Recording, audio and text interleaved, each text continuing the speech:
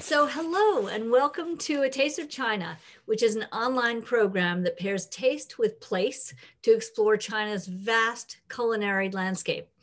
I'm Dinda Elliott, the Director of Programs at China Institute, and I'm so delighted to be here with my friend, uh, Mei Zhang, the founder of Wild China, who are our partners in this wonderful series. Um, hi, Mei. Good to have you. Um, so today we are traveling to Guangdong on China's southern coast. And I'm especially excited about tonight's program because it's about so many important things. Uh, it's about food, it's about farming, it's about technology, it's about the new farm to table movement and the rise of organics in China. And it's about rebuilding the connections between the cities and the countryside and about giving, giving China's farmers a way to hang on to their traditions. So, by the way, I just wanted to say to everybody, we will try to um, take questions from the audience at the end. So please feel free to type your questions into the Q&A box at the bottom of your screen as we go along. And uh, so Mei, let me turn it over to you to tell us a little bit more and tell us why we're here before we bring on our first guest. Thank you. Thank you, Dinda. Hi, everybody. Um, happy 2021. Right. Welcome to A Taste of China's special Wild China On Air series co-produced with China Institute, my dear friend Dinda Elliott. And my name is Zhang Mei. I'm the founder of Wild China, and we specialize in uh, in-depth travel to China for both individuals, schools, and companies. And right now, we still, I cannot believe it, a year into this, still cannot travel to China. So we will continue our virtual exploration of China, and this is our 53rd event since February 2020. And we hope there will we will continue the virtual series uh, for many many more but we hope you can hit the road soon right? So uh, today i'm thrilled to be hosting with dinda this uh, panel of discussion on organic farming. And we have a panel of fantastic guests. Um, they are the activists in the organic farming movement in china really we will be moving from the top of the supply chain uh, in Shanghai. That's Matilda Ho, who will, uh, who's also a TED speaker, who will give us a little bit context of where China is in its food movement in relation to the world. And then we will meet uh, Fred, Fred Young, who is currently working to build a bridge between organic farmers and users in Shanghai. He is also in Shanghai. Then Fred will take us with him to um, visit Xiong Guilin in Guangdong, who is a local farmer there, an expert on mushroom farming. And we will see how they sustainably grow mushroom. So that's what we're here for. Back to you, Dinda. Thanks, Mei. Um, so I'm excited to introduce our first uh, guest, who is Matilda Ho. And Matilda is a serial entrepreneur who's driving to create more sustainable food systems in China. She's the founder of Bits and Bites, China's pioneer tech, food tech venture capital company, investing in startups tackling global food system challenges. Matilda is also a founder, also the founder of Yimi Shiji, which you might call the Whole Foods of China. Uh, it's a farm to table grocery e commerce platform that has engineered food education and transparency into the supply chain and customer experience. Matilda, as, as Mei just mentioned, Matilda has also been a TED speaker on the future of good food in China. We're very honored to have her join us today. Hi, Matilda. Welcome. Hi, hello, hi. Very, uh, my truly pleasure to be here. We're thrilled to have you.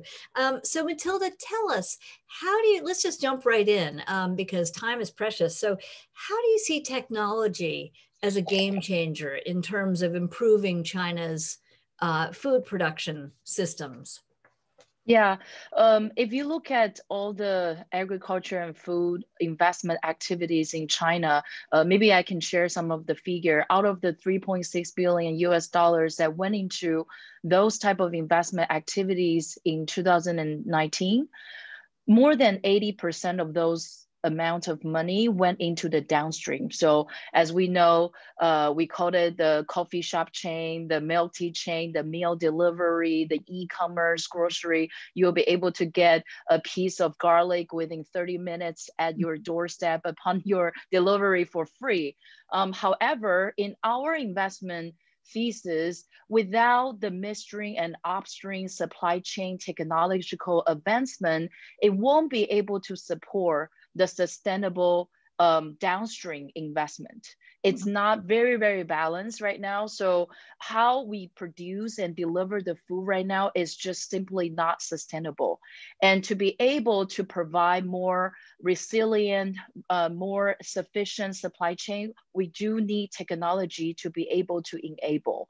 And that's um, how we wanted to continue to invest in those uh, disruptive technology that will be able to address those food security and food safety challenges that China is facing right now. So let's actually let's let's drill down on, into that a little bit further. So I, am still trying to understand exactly what's the problem that you're solving for. In other words, what's mm-hmm. you know you mentioned food safety. Is that is that what what's the real um, issue that your technology is helping to tackle? Yes, um, there are uh, multiple challenges that we're facing, um, starting from the food security. Um, China represented 20% of the world population, but we only have less than 7% of arable lands. And now the Chinese government is starting to ban zero increase in pesticide and chemical fertilizer input. How can we continue to feed those population without hurting our soil and planet? That is a very big implication. And food safety. Um, right now, every year, China still has uh, nearly half a mil, ha half a million food safety scandal and violations. And how are we going to continue to educate the supplier uh, to bring a safer food processing? That's also another key challenges that we're facing. And then if we talk about human nutrition, now China leads uh, the world's population for both obesity um, and diabetics, and those type of foodborne diseases has no cure. When you become uh, uh, obese, there's no way un until you change how you eat your food three meals a day should you be able to really solve that problem so there are a long list of the systematic challenges that we're facing but it, it's not um, uh, we don't have a available ecosystem of VCs or PEs or uh, corporates or startups that uh, can have an ecosystem or network to continue to talk about it or to solve about it or mm-hmm. you know even the consumer education. Everyone thinks that they aspire to be healthy but they don't know how. They don't know how to eat healthier. They don't know whether they can trust this article that posted online. Um, so a lot of information online but very very few knowledge to talk about how you can eat better and healthier mm-hmm. and so i think that this is definitely the right time that we really need to bring more like-minded partners mm-hmm. uh, to really think about how to solve that issues huh and is your so your company Yimi Shiji, is that actually trying to promote the idea of healthy eating and um, i know you don't don't uh, particularly specialize in organic uh, food, although you have organic food on your platform. But but are you trying to promote that idea of healthier eating?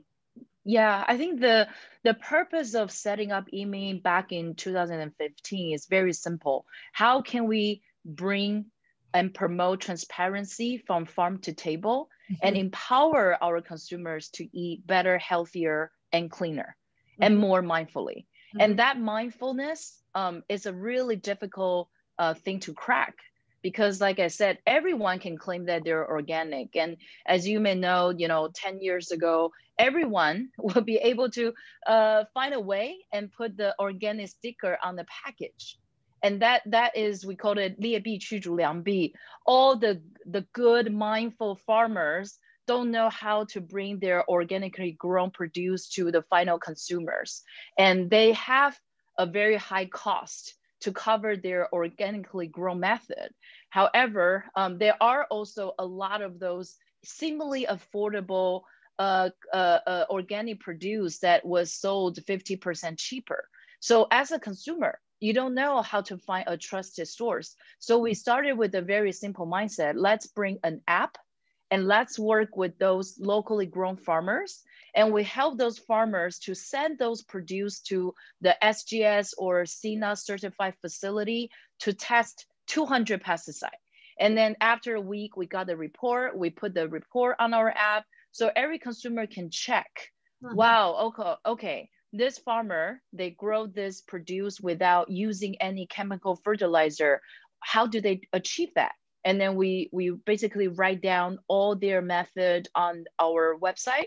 So all the consumer have a very mindful education process to know mm-hmm. that, okay, this farmer shown, this farmer uh, uh, friend, um, they use this method to be able to bring a very clean produce.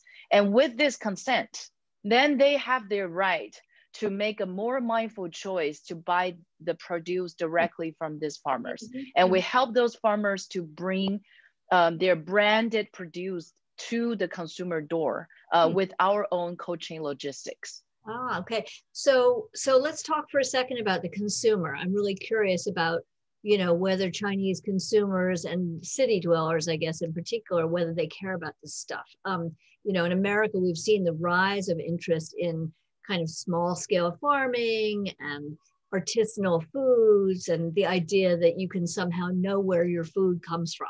You know, you might even know mm-hmm. the specific farm that your food came from. Are you seeing that in China as well? Are people do people do people in the cities increasingly want that kind of information, or what do you, what do you see in the consumer? Yeah, that is definitely um, a very interesting trajectory when we uh, think about consumers' purpose for food. You know, after the World War II, I think every family in China is only thinking about one thing: how can I eat full? How can I 吃得饱, right? Uh, I don't, I don't care if it's empty calorie or it's organic or whatnot. It, as long as I have a big bowl of rice, that's great. Yeah. And then the second trajectory after a decade, then everyone thinking about, okay, I need to eat well how can I transform from 吃得饱 to 吃得好? I need to eat better. And that typically means that, okay, can I not just eat vegetables? Can I have more pork? Can I have more meat? Can mm-hmm. I have a red meat? Um, so you know, not only the Chinese New Year, I can I can slaughter a pig for my whole villages. I want to eat more. Um, and and now uh, since 10 years ago, especially if you see Shanghai, Beijing, or Guangzhou, people now thinking about I need to not only eat well, I need to eat healthy. Everyone was starting to go to the gym. I wanted to, you know, uh, download the app. I wanted to, you know, jump on my how at my house for 10 minutes. I need to start becoming a healthy person. And they're starting to realize, okay, maybe I shouldn't eat that much white rice. I need to start eating some grain, five grain rice. I need to start eating brown rice. Maybe I need to eat more protein. How can I get more cleaner protein? So now everyone has the aspiration to be healthy, but how can I educate more people to uh, define what a healthy diet should be? Mm-hmm. That is something that I think people are starting to have that disposable income and have more time to access those website video or information to educate themselves, especially um, when those mother starting to prepare um, that they wanted to have a baby. They mm-hmm. starting to be more mindful about, okay, I need to start to be healthier so that my baby can be born healthier. And when they started to have a baby, and six months in they started to think about okay i need to prepare those fushi i need to prepare those baby food. Now i need to find a trustable source and channel to buy organic pumpkin to provide you know organic vegetables so that my baby can have all this clean food. So we do starting to see there is a trajectory of more and more middle class family that has those aspiration. Yeah. And what we're trying to do is help them to really change their behavior and have more accessible and affordable source for those clean food. Yeah, so I am so glad you mentioned middle class because that was exactly what I was just going to say. Is it feels like it seems like this is the perfect manifestation of the rise of the middle class in China, and I think that we in the United States really have a hard time kind of understanding that there really is a real middle class that's that's you know growing in China and that's really not that very not that different from the middle class in America in many ways in terms of aspirations and lifestyles and all that stuff. It's it's yeah. I think you know hard for us to remember that. So one final question for you, Matilda, before we go over to um, Fred to to uh, you know talk more specifically about farming. What are the biggest challenges for your business? Um, is it that trust factor, or what you know? What are the what are the challenges? Yeah, I'm really glad that you mentioned trust because trust is indeed um, a huge issue given all the you know food safety scandals and uh, people you know generally don't believe the organic they don't think that organic food is necessarily better for you um, and they don't know how you can trust um, everyone can claim that they have organic products on on their platform. And how do you know china is so big and so fragmented? How do you know that now you have a, a, a, a certification on your app? But maybe you know tomorrow morning there is a raining day and uh, the farmer might borrow the fruits from their neighbor so that they can still have the money to fulfill that day mm-hmm. so there is a, a, huge trust issue there and that's why we often like to say that it is the process it's not necessarily the result that you can bring you can build that brand trust with your customers mm-hmm. so what we're trying to do is every single component we're trying to be as an enablement of that trust mm-hmm. so that's why you know we will go to we will go to the village. We will bring our photographer. We will make a five minutes video about how farmers really grow their food without any chemical input. Uh, we will write their stories. Um, we will also um, even on the package sometimes we will draw the farmer's face on the package wow. as a way to let people know that see this is the farmer. And we even publish all the farm address the farm owner's name. We sometimes name the vegetables behind the real farmer's name. And mm-hmm. we encourage people to drive the car uh, in the weekend to go see the farmers to talk to them. That is the essential why we call ourselves a farmers market, that you really meet the farmers face to face. And that, that really brings that level of trust to another level. and, and of course, we also like to say a mindful patience because you know if you wanted to grow good food, that takes time. Um, you know, if you wanted to raise a chicken without adding antibiotics, it's not 45 days, it's 180 days. So we, we also know that building trust takes time. And that's why most of our loyal customers are through word of mouth. It's not through the coupon, it's not through the promotion. Mm-hmm. Um, so I think this is probably our biggest challenge. How do you build that mindful business mm-hmm. in a country that is almost a crime to take it slow? Um, right. Wow. That is, yep, yep, yep. That's so interesting. And, and the idea that you're kind of connecting urb city people once again to the countryside. It's kind of like bringing humanity back into our, you know, crazy modern lives. And um, it's just a wonderful thing that you're doing. So, so thank you, Matilda, so much. That is just fascinating. And don't go, don't go far away. Okay, stick around for a little bit. We're going to bring you back later, um, but we're now going to turn to we're going to turn back to Mei who's going to introduce our next guest. But Mei, I think if you don't mind, we're going to first show 40 seconds of a little video clip of Perfect. Fred Fred Yong's project. So I think Aaron's going to run 40 seconds and then you can introduce Fred. Perfect. Hopefully this will work. We're struggling against the problems in Shanghai.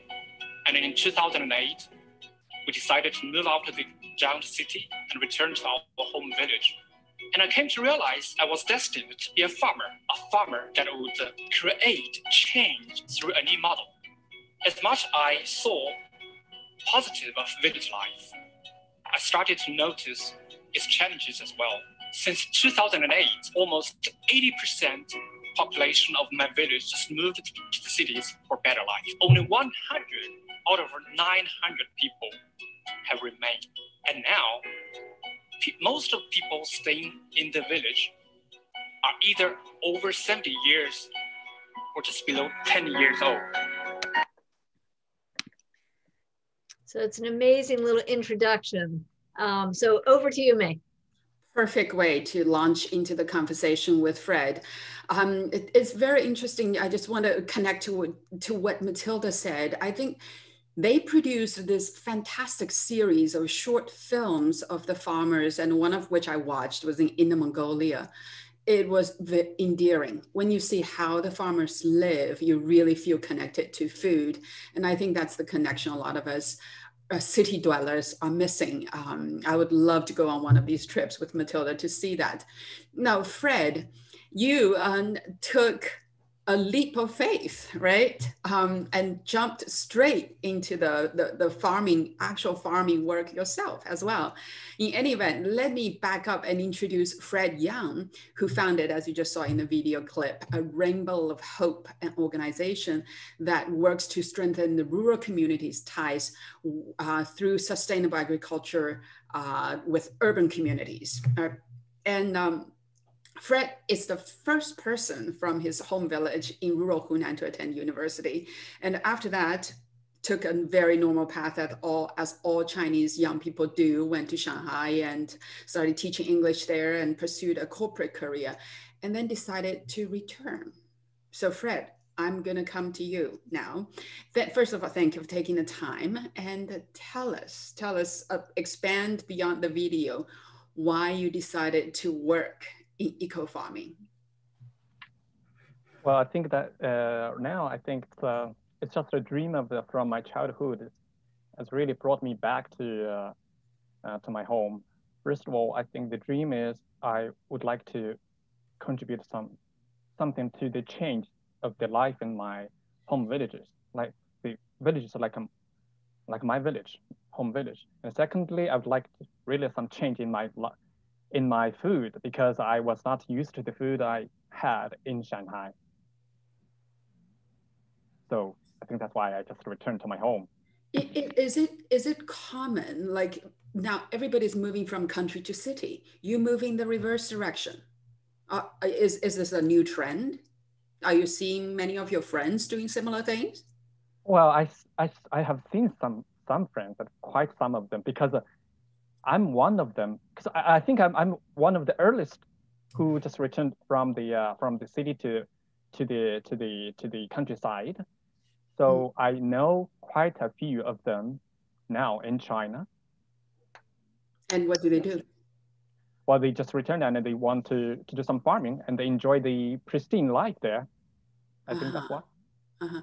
See, it, it's interesting. We had a conversation with um, an author who lives in Dali, who is witnessing the migration of city dwellers to mm-hmm. idyllic countryside in Dali. And um, after a while, the challenges of living in the country becomes too big. And quite a few of them choose to reverse, to, to return to the city. Um, do you think that could happen to you and your friends?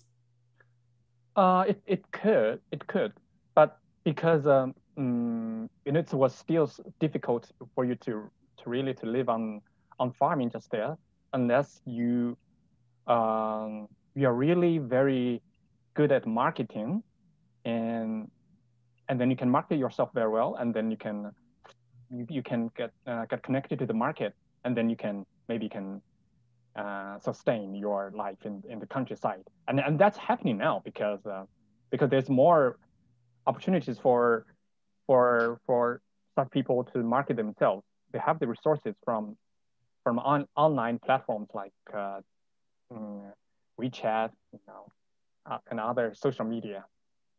Douyin. Yes. TikTok. TikTok. Yeah. yeah. And Red. Yeah. So uh, now let's uh, dive in to understand a little bit, how does Rainbow of Hope work? Simply, we just connected, Rainbow of Hope just connects individual farmer household directly with the 10 to 20 cent, uh, 20 city families. The city families subscribe all the food that these um, farmer household grow and eat. So the it's just like sharing of uh, the uh, surplus of uh, the farmer, farmer household with the city families. And in return, they get some cash income. Mm-hmm. The, and a very similar question to what we were trying to discuss with Matilda earlier, that who, who defines uh, your food as organic food?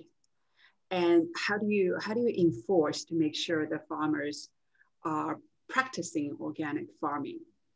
That's a very good question. I think it's a, it's quite a challenge for most of the uh, distribu- food distributors. What Rainbow Hope does is Rainbow Hope will will we have the standards, so chemical free, and we turn to like we need them to do like permaculture or biodynamic or Chinese conventional uh, farming practice, uh, but chemical free for for sure. And then on the other hand, we need the farmer cooperative instead of just individual farmer household because they are not well disciplined, they are not well planned, they are not well organized. So we need the farmer cooperative to coordinate all the um, production and as well as with the market side. So the farmer cooperative will make sure that the uh, chemicals are not used. And thirdly, we'll do some random tests testing. You know, when the uh, like like the vegetable goes to your doorstep, we'll ask the uh, courier man to take a sample, just one sample from from the box, and that sample will directly be delivered by the same courier man to the uh, testing lab for testing. So we have this. Of course, one more, the uh, matching city family, they can go drive to the uh, to visit the farmer and I think that's a kind of like a super inspection or supervision. Mm. Well, that's a, yeah. So, is it easy to find farmers who are willing to to to uh, be no, part of this? I, no, I would not, not say it's easy, because uh, the farmers they, they they really love freedom. They love to live their free life, so they don't want to. Oh, this is too trouble. I want. I need to pack everything each week, and I want I need to talk to people. I need to, you know, do this, do that. That's not the, their life. You know, they want they want simple, uh, life to be very simple, as what it is. So then you need to find some really some coordinators. That's why we need the farmer cooperative because they will do they will find the right people and they know the honest man in the village in the community. Mm. You know they are so yeah. That's so, it. So so which side is harder? Is it harder to find good farmers who would do organic farming? Or is it harder to find buyers in the city who would pay the i assume it's a premium price. Is a premium price for your produce? Which side is harder? Well i think it's uh, to me i think it's because i'm not a marketing man so it's it's more challenging for me to find the buyers on, on in this on the on the urban side. Uh, then well, it's not premium. It's not premium prime, uh, uh, price for me because uh, what we try to do is to try to actually cut off the the cost, not not cost, because it, there's a direct connection between between the two sides. So the price can be, I think, at least a third, uh, thirty percent, at least thirty percent, maybe even even forty to fifty percent lower than than those uh, claimed organic organic uh, produces on the on the market. Really? Yes. I'm the, honest with you. Where, where where did the savings come from? Because I understand it takes more effort to grow food organically. Um, is well, the savings from distribution? No, let me tell you the story because now I actually I had a really uh, made a diagram. There's lots of uh, waste on the supply chain. Uh, according to my rough research, the the uh, currently only 25% the harvest from the field is consumed by the end consumer into the stomach, you know, into the stomach. Lots of it have been either lost on the on the farm or been rejected by the supermarket because they need perfect looking stuff. And then the on the shelf, you know, at least 20% is you know, wasted on the shelf. The, those are just wasted. So, you know, those waste can be, of value to the to the farmer, and then they can the waste will be always uh, borne by the end consumers if they buy the perfect looking and in, from the supermarket. I'm not trying to mark. I mean, supermarkets are good, but uh, but you know, they, they, uh, that's that's just my rough research.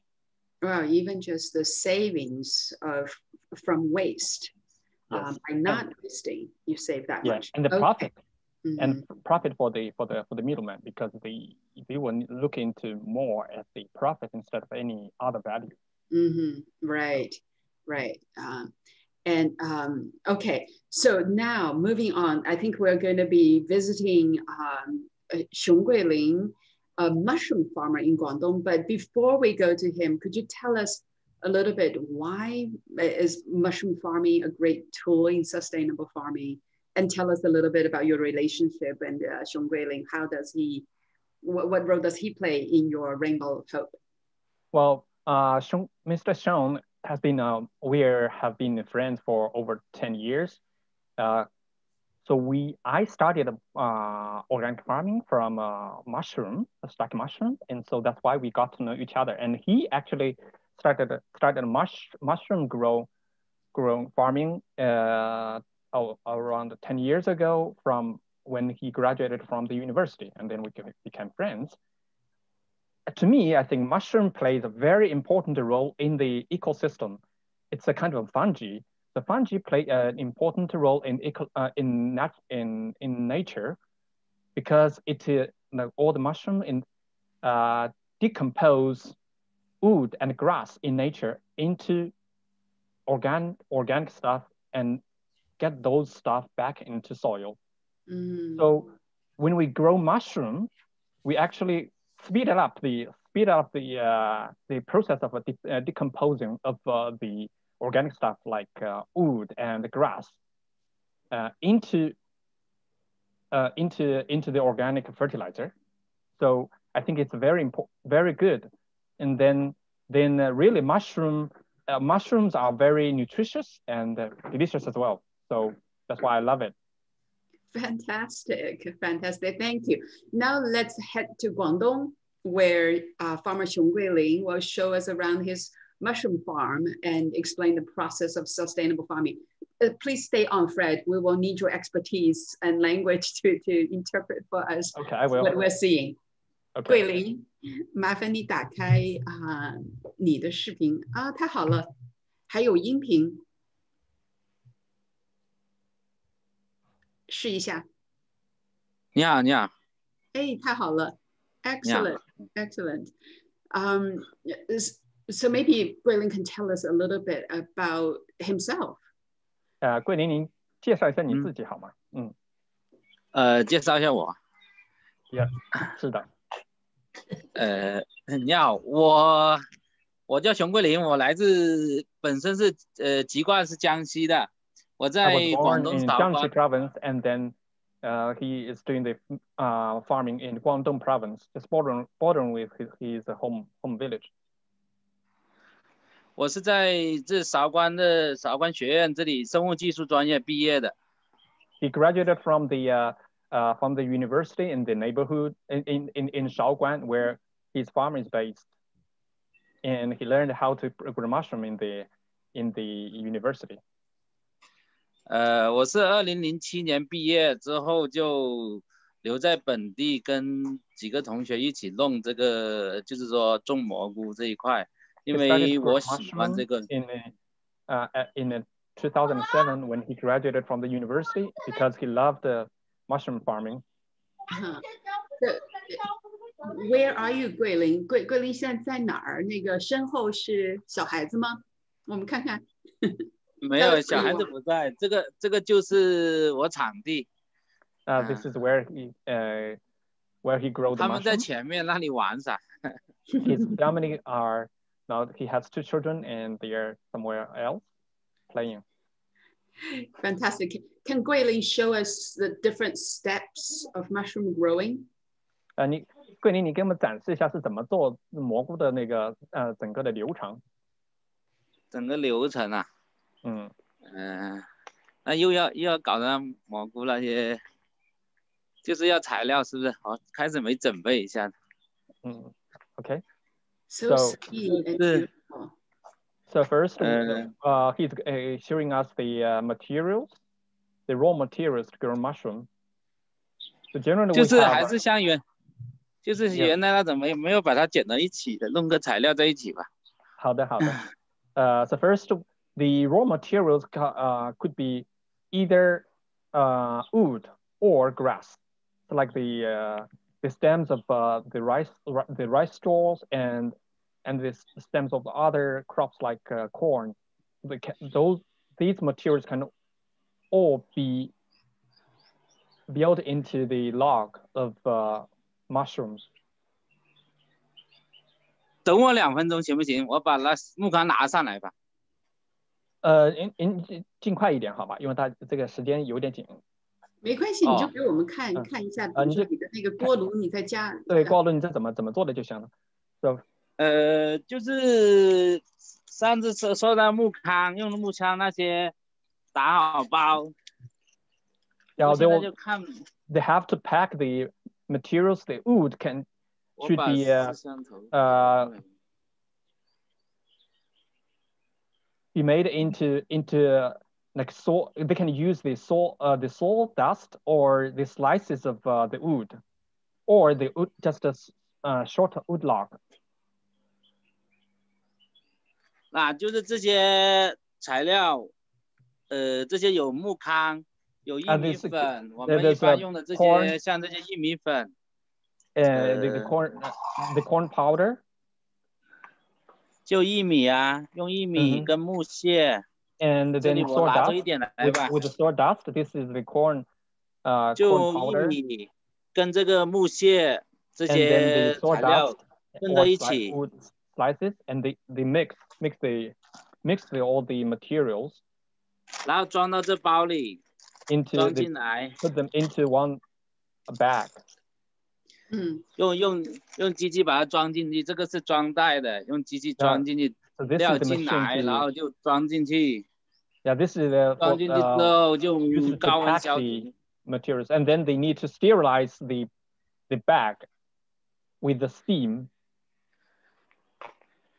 So they use heat. They steam the the bag of sawdust. Yes, this yes, and and then they got yeah they got this they got this uh this bag, and then they need to plant the seed into the into the bag. 开始装进去就这样，然后把这个菌种放从这里放进去。Now 放进去它就慢慢 plant the seed into it, and then you can be syn syn uh syndrome in the uh in the bag and the the, uh, the white ones. Uh huh. The seed of mushroom. Yeah. Yeah, of, of mushroom, and then it grow. 然后这个白色的这个就是蘑菇的菌种、菌丝，等这个它就是说逐步全部长好，这菌丝就像那个树根一样的，就占领整个木木料。Just like uh, the roots of uh, the roots of the uh, the trees, and then then when it fills all this back, so it starts from this brown color with seeds, and then they grow and expand the white color to, to the to cover the entire log, basically. That's right. Yes. Right? And then yeah. yeah. And then then it starts that, to. That does, oh, that, there it is. and then there you will get uh, start to get some mushrooms. so so that's the process. It's you get, it, it's get too bad the U.S. Customs won't allow those things through the customs. Otherwise, I would like to have some. yes, and, you can. So, you can grow them in out of because we're running a little short on time. Mm -hmm. I see Dinda's beautiful face there. Can we just quickly talk about once the mushroom is grown, what happens to all the waste? 哦，呃，那个桂林，现在我们时间有点短，有有有点紧啊。你跟告诉一下大家，这个 长了蘑菇以后，这这些废物你怎么来利用？就是剩下的这些东西你怎么来利用？你要告诉一下大家。呃，就是说这些蘑菇采完之后，这个蘑菇包就把它，呃，像这些包它就可以这样，呃，就可以导出来，就是在树下面作为肥料，这些就种菜。So after this, after the mushroom in all the wood and all the corn, corn powder will compost. Decompose into, into soil, into organic fertilizer. And actually, he, um, he cannot show, show us the banana, his banana uh, banana trees, but he has banana trees and he can put all the logs in the earth, in the soil, under the under the uh, banana trees. So the banana trees provide a very good shading for the uh, for the mushroom, and then in return, the mushrooms gives back the organic fertilizer for the for the banana trees. Great. Oh, thank you. Thank you so much.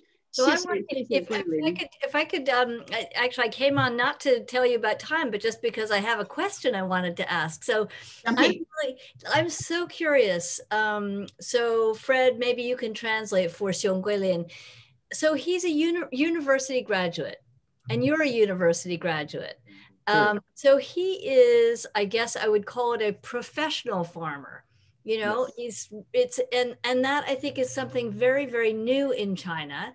In the mm-hmm. old days you would never have a university graduate go back to the farm and learn to do professional farming like this. So i'd love to just ask you both to talk about that a little bit. Is that a new is that a new trend um, why did xiong guilin decide to you know work on a farm instead of going to work for some big agricultural company.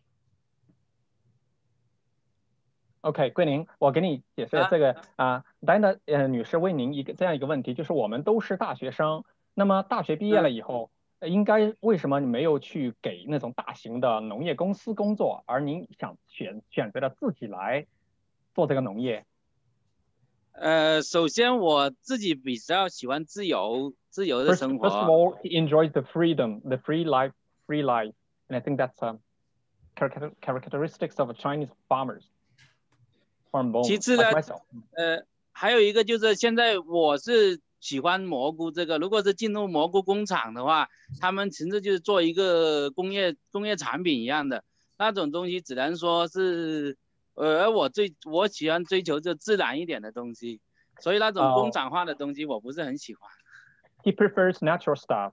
If he goes to the to the mushroom, you know, really a very big mushroom farm, then that will be industrialized because everything will be done just indoor and like just like a factory. So he doesn't like the indu- he enjoys natural stuff instead of the industrialized stuff. Fantastic question. Yeah. And are the are the the techniques and the science that he learned in university are they useful to him now and do they have has his does he have a a better life you know because of this new these technologies that he can use um, you know if he didn't go to university would he be as successful 呃，桂林还有一个问问题啊， 就是呃，你觉得在你现目前的这种呃生产中间，你大学学大学里学到的这些呃知识跟技能对你有对你的目前有有很大的帮助吗？呃，有吧，因为我觉得在中国现在农农村吧，就说其实技术缺乏是很大的，很多东西都缺乏技术去去去开发利用，就说留下来的农农民呢，基本上都是老弱病残这样的，他们对技术其实是很缺乏的。然后就说真正的说工厂那些，他又解决不了中国现在当代农村的一些问题。Okay, uh, uh, Mr. Shong just gives up affirmative uh, um, answer to you. That's yes. Uh, he's uh, his knowledge, uh, what he learned from the university has helped him a lot. And according to his point, a you know farmers in in in in China they need the indigenous indigenous indigenous farmers, they do need some techniques and knowledge to help them improve the uh, uh, production. I, I just want to cut in here and share something. We've been working in the rural area called Songyang, which is four hours ride from Shanghai. Mm-hmm. And one of the biggest challenges is talented university graduate youth are not willing to return or they return then they only want to work for the government and become gongwuyuan right? Or they want to find a job in hangzhou. So my hats off to both of you. I think i think you are doing incredible service to to the countryside of of china. Um, what do you think, Dinda? Should we? Um, I think I see quite a few questions here. Yeah. um, let's let's invite Matilda back. And Yeah. we, while she's rejoining us, uh, we have one question here directly for Mr. Xiong, and we can get to that. Approximately how much of your mushroom do you sell locally, and how much gets shipped to other cities? This is from Ning. Alan Berry. 啊，呃，就是他还 还有一个最后一个问题问一下你啊，就是你的那呃你的那个蘑菇目前在你的当地的市场卖的是多少价格？然后卖到外卖到外地的话会是多少价格？这个这个品种不一样啊，我们做的就好多品种啊。呃，he 哦 has different varieties. All it all depends on the vari variety. 那它的那个比例多少是当地的，多少是运走的？呃，what's the rate？呃这个嗯对，嗯呃，一半一半吧。 50 local, 50 shipped uh, outside. Mhm. Wow, that's great. And I'm curious about the size of his business, the scale of his business. How much land does he have? And what's the kind of, you know, gross annual sales or whatever? What sort of size of business is he running? 啊，桂林，你现在 嗯有多大？你的那个农场到有多大？这里啊，这里是原来一个荒废的学校，呃，当时说的面积大概十五亩吧，一公顷这样子。呃，one acre，呃，yeah, fifteen mu, fifteen mu. I don't know what's uh, that. Fifteen mu, 一公 and 顷嘛 he is based in uh, an abandoned uh, primary school in the village. What, what types of mushrooms? 有哪些？有哪些蘑菇？呃，很多都做，我们做灵芝、香菇、木耳、reishi, shiitake mushroom、评估啊这 and oyster mushroom. Lot, a lot. Yeah, uh, mm, And. And before Yeah. we go back to uh, bringing Matilda back into the conversation, um, can uh, Mr. Xiong tell us a little bit more about his life? Does he have, um, you know, comforts that a city dweller might like? Does he have a nice big television? Does he have a car? You know, what what is his life like in the countryside? OK，桂林，你介绍一下你你自己的那个家庭生活。他是问呃啊，那来到为您，女士为您，就是你的那是不是有车？是不是有大的电视机？是不是有其他一些，比如说城市里面呃对，呃家庭所有的一些家家那个设备？ 呃，我有车，有电视两个卡小孩， Two kids. 然后我我小孩的是在县城读书上学， His kids went now 他们 go to 周末 school 会 in 回 the 来。 county level, uh, county uh, county town uh, city, and then they return to to to the village in uh, on the weekend. hmm hmm Do you think that your children will be farmers also? 你的小孩会会成为呃以后也会从从事农业吗 不一定，就看他们兴趣吧。 ？It all depends on the, you know he cannot decide. uh huh. Great. So, um, Matilda, there are a number of questions here for you um, as well. So, I wonder. uh, Okay, so one person is asking, um, what kind of farmers does Yimi Yimi Shiji work with? And and I guess the more important thing is how do you select the farmer partners and the producers that you're working with? Um, is it commercial farms or individual farmers like Mr. Xiong? Um, you know, how does that work? Yeah. Um, well, it's a complicated uh, uh, uh, questions. In terms of our sourcing principles, uh, first of all, we trying to promote local food because um, local food has two benefits. One, you know your customers, you know your farmers better, is closer, and it also reduce the carbon footprint uh, during the shipping of the food. So, for example, uh, take fruits as example. Um, most of the strawberry, it's the strawberry season right now. Uh, we only work with the strawberry farmers that grow their strawberries in Shanghai, uh, uh, blueberries as well. But apples uh, in Shanghai, we can't really grow apples um, in the in the warmer weather. So we will have to work with the Xinjiang farmer, Shandong farmer, Shanxi farmer for um, those apples. We we have an old saying 一方水土养一方人. So we really wanted to make sure that um, the land uh, can grow the seasonal fruits um, that can automatically bring the best taste uh, for the market. So we, we have the local um, uh, principle as the key. And then second of all, uh, then we wanted to uh, visit the farm. We actually have a, a, dairy, we have a checklist that our sourcing manager will go to the farm to make sure that, you know, their management governance is there. Um, there's no, um, you know, uh, technical difficulties for them. Um, th th there is a checklist that we wanted to um, take care of it. You know, we like to say that it's a combination of art and science because we do know even if we just send a sample to the testing facility uh, for insurance, we, we don't know every single day in the future whether they can con continue to have the consistently good quality of those produce. So I think, you know, knowing your farmer, knowing their farming method is also a very key uh, sourcing uh, principle for us. Mm -hmm. I see the second half of this question, which is very interesting, is does Yimi Shiji share the costs and profits with the farmers, or is Yimi Shiji a, a for-profit venture or non-profit venture?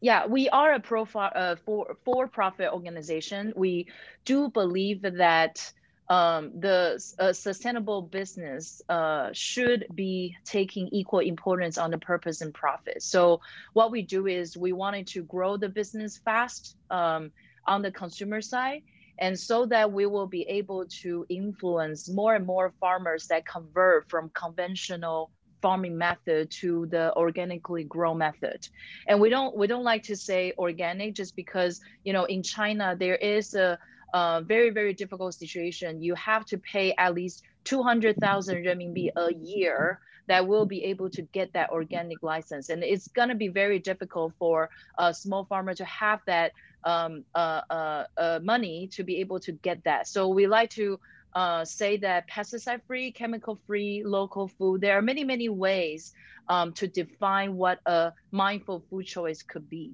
Mm-hmm. Um, so so we, we don't we don't like to say organic is just one of the ways. We do work with some of the medium-sized farmers that they've been working um, on the farm business uh, more than 10 years and then they starting to you know scale um, to to a bigger farm and we think that's a very beautiful successful story to inspire more small farmers to scale up their business mm-hmm. i'm going to jump in with another question for um, fred and xiong guilin um, which is you know I, i'm curious i guess fred your to work with the farmers that you work with, I guess you have higher standards than uh, you know, because it's organic or, or and certified and all these things. It's higher standards than just your average farmer. And so my question for you and Xiong Guilin is, are there other farmers around him? You know, 他周围的农户 are some of the other farmers they say oh forget it it's too much trouble i don't want to bother with this all of these fancy standards and requirements is it is it you know does Xiong Guilin find that there are some of the other farmers in his community they do not want to participate in this kind of project 呃，桂宁，呃，嗯，就是就是在我们周围的这些，在您周围的这些呃村民， 他们会不会对，比如说种做有机农业啊啊这些事情呢，生态农业这个是太麻烦了，一一个在一个那又这项又要做那样的事情，然后他们他们就不愿意来参与咱们这种啊生态农业，有没有这种现象？呃，都不会，因为我所处的地方相对比较山，就是说偏呃山山里面，他们其实大部分其实我接触得到，不管是农户也好，还是市民也好。就是基本上，其实现在很多人都都想呃要好的产品，有机的，但是无非就是最后就面临一个问题，生活条件所迫，很多人可能说表面上或者说平时聊的时候会很在意这个事，但真的到购买的时候，可以可能会限于自己的购买力的问题，最后又逃避这个事情。其实农户也很想这样做，只是说你做出来，如果消费者不认可，就说没有人购买的话，他们最后。倒逼他们还是不敢这样去操作。其实大家还是想做好的东西，毕竟最后很多人都会像中国相信轮回的，你最后你还是要回到自己身上。即便说你自己种的东西，如果是说有农药或者化肥那些，自己不吃，但是你还是要买别人给你的东西啊。Okay. Uh, uh, not not really. He he gave the negative answer to to your question. To your question, he says that everybody, including the farmers as well as the city city dwellers, uh, they want good and healthy food. Uh, but but on the on the city side, you know, the city fam uh, city uh, consumers they think they they need to pay more and uh, they're not affordable on the market. And on the other other side, in the farmers they want to do in a natural way, but the question is if they do that way, they cannot sell all the pro, uh, their, their produces, and then there, there could be the failure for for them. So that's uh, the conflict. So it's Uh, a, a higher risk for the farmer. Mhm. Yes. Right. Uh-huh. Which I think is a perfect segue into a question here from Imma. It says that this person is in Guangdong province. By the way, you can subscribe to Rainbow of Hope and get Xiong Guiling's mushroom. And uh, the question is, the, they're very curious about whether live streaming and e-commerce uh, have changed the, the dilemma that Xiong Guiling was describing. Has it uh, do you have any remarkable examples that e-commerce has broken the barrier and reached consumers? 呃，桂林就是嗯像目前呃刚才讲的这种这种困境啊，就是呃城市跟乡村之间的这种困境，没没法，一个是没法买，一个是没法卖。对，目前的这种，比如说像嗯、像我们的那抖音啊这些，还有一些电子商务，是不是对这个有一个很大的促进？对这个问题有很有一个解决的方案呢？你感觉到？就像直播我觉得有好也有坏，就说抖音有些东西又。又传出的好的，有时候也传出坏的东西出来。你说如果能够真实反映的，可能会有促进作用，但是反而有些抖音会，呃，有些投机的在上面的展示，反而让人家对这些真实性的怀疑态度更更加强烈。所以说那些东西也说不清楚，反正现在个人感觉做有机、做生态这些东西，还是在自己建立自己的信任那个信任体系的，靠外力好像现在都挺难的。 Mm. So Mr. Sheng, um, his answer is, uh, tick and talk and this social media can help, but you know those stuff can also be used by some, be made advantage by some by some uh, speculists or opportunists, opportunists, and then it actually worsen the situations for the uh, the uh, for the uh, for the trust. And he believes that personal tr- uh, no, tr- personal trust could help more.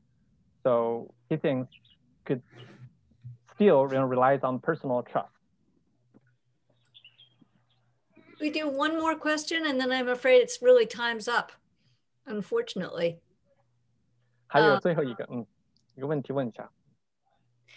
So I guess this is, go ahead. Uh, uh, did you want to ask one, May? Oh, uh, no, you go ahead. I was thinking we were out of time. Okay. Yeah, I mean, this is it's a bit similar, but it's it's a very interesting way of asking the question. Ron Bird is asking, okay, so Fred, this is this is might be difficult to translate, but is do the do, do the local non-organic farmers, so the other farmers around him who are not Mhm. doing this organic farming, do they think he is an innovator? In other words, someone who's you know brilliant and coming up with Mhm, new mhm. ideas, or do they think he's a disruptor? So he's making life more difficult for them. 桂林有一个问题要问你啊，就是是吧说你在这里做这个呃有机生态农业，那么嗯周围的周围的这些村民是认为你是一个破坏者呢，还是一个啊、对于那些周围不做有机农业的这些村民， 你他们会认为你是一个破坏者了，还是一个创新者、创新人士？呃，不至于说你是破坏者，只是说他不做有机人有机的人，他只是说觉得自己做不了而已。那你能做，他可能就是说会持一些怀疑态度看着你啊。但是你说他至于对你有什么敌意，这个倒不至于，因为呃现在都感觉这个市场也好，环境都好，都是挺挺公平平等的，也没有说一下子呃，你做的跟人家不一样，就对你有敌意的。我觉得倒倒不会，只是说人家做那种的，就可能大部分人持有的态度就是觉得你可能生存不下去，或者做不了，因为现在就说大环境或者说整体的觉得你的生存空间会相对小，还是说中国的传这种时间做的长的这种模式比较新兴起吧。其实很多人都想做，包括你说那些工厂的也好，在这些做呃传统的这种模式也好。他们其实也想做成好的，只是无非就是最后也是自己，呃，做出来也卖不掉，或者说销售跟出跟不上。其实我觉得大部分还是想想往好的做，就算是他们，呃，有时候为了钱在做住，其实还是希望的对身体好的东西，只是说是环境逼着他们没办法了。我觉得是这样的，反正我接触的人，我个个人感觉都不至于说有敌意，只是说看你觉得不一定做得下去哦，就觉得这个意思吧。Oh, Mr. Just make it really short, yeah. uh, Mr. Xiong says he he hasn't felt any hospitality, uh, no no no host hostility, hostility from uh, yeah, yeah. yeah land organic farmers, and he thinks all the farmers are good, uh, have nice heart, they want to do good things, but they challenge that if they do that, can they survive?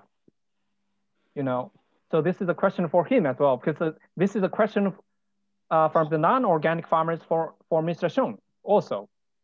Yeah, uh, brilliant, brilliant, brilliant. Fred, you are an amazing, amazing interpreter. So oh, I want to thank you for that. And, um, you know, unfortunately, we're out of time now, and we could talk and talk and talk for so much longer. There's so much to learn. But um, we're so happy that you all joined us and so grateful. Um, and I hope to our audience, I hope that you will all join us for the next episode in this series which is going to be on Tuesday, March 9th uh, at 9 p.m. Eastern Time. And that we, it will take us to the west, to the spice capital of China, Chengdu, Sichuan. And we'll be releasing more information about that next program soon. So please sign up for our newsletters or check back on our websites to register. Um, I also want to invite you to tune into the next few China Institute Pieces of China ep episodes. Um, we will have Yale's top uh, China curator. We're going to have a Chinese wallpaper expert, and we're going to have a wonder the wonderful author and journalist Jim Fallows on the harrowing flight he co-piloted from Changsha to Zhuhai. Um, so we'll and we'll also have lots of fun programs around Chinese New Year. So please do join us. But before I hand it over to Mei, I just again want to thank you all. Matilda, thank you so much. Fred, thank you so much. Guilin, you are all so inspiring. So Fred, I hope that you will translate that for Xiong Guilin. It's really so inspiring to hear about your work and thank you for sharing it with our audience tonight. Um, so, and I also, of course, want to thank Mei and the Wild China team for their incredible work on this program. So over to you, Mei. Thank you so much for joining us. I, I can only second what Dinda just said. Um, I think Matilda and Guilin and Fred, all of you are in for an uphill fight. It's not going to be easy for to build trust in the organic farming movement, but I am just delighted that you guys are there um, leading the way. So wish you lots of good luck and thank you so much for opening our eyes to a different side of um, Chinese food. And um, yes, like Dinda said, we're, we're going to explore more virtually as well as next year, later this year, join Wild China to see them. And Dinda, I love your programs. And you did not ask for donations or join your membership, but I think China Institute is fantastic. I want all of us to be a member and join. Um, next, Wild China also has a Wild China uh, book talk series, and we are reading Xin Ran's book on the it's called The Good Women of China. It's one of the most sort of sad, heartbreaking, harrowing story that I've read on Chinese women. It truly touched me, and I hope you can join us. And you can find all this information on wildchina.com. Thank you. Thank you, everyone. Thank you, Dinda. Thank you for joining us. Thank you. Thank you for joining us. 非常非常感谢。谢谢谢谢。好，再见。